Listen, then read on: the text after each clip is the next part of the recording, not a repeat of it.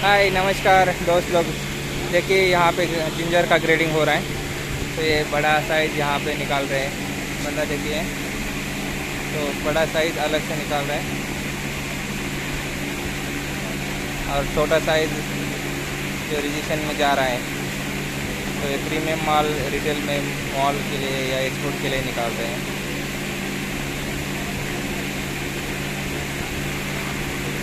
कैसे सुखा रहा है यहाँ पे, है अरे सुखा के थोड़ा सा ड्राई करे तो गीलापन निकल जाता है उसमें से।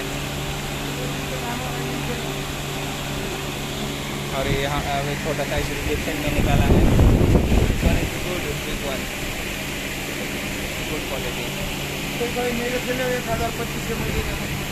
देख सकते हैं कि बंच बंच साइज़ सौ डेढ़ सौ ग्राम का बंच साइज़ है।